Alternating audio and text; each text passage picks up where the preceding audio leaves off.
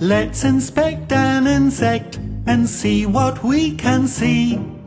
From the dragonfly to the tiny flea, an insect has a pair of antennae and perhaps a pair or two of wings to fly.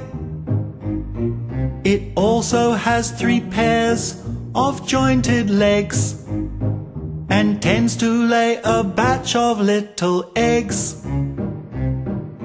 Let's inspect an insect and see what we can see. From the humble cockroach to the honey bee, an insect has a hard external skeleton made of shiny stuff called chitin. A head, thorax, and